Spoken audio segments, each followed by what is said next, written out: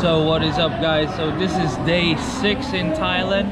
This morning I left uh, Pattaya to come back to Bangkok. Today what we're doing is shopping and chilling.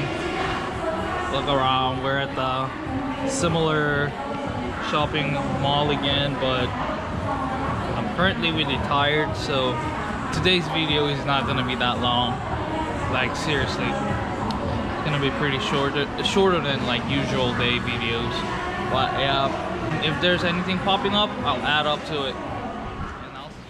So what is up, guys? Uh, today, the sixth day, we didn't really do anything. We just came back from Pattaya.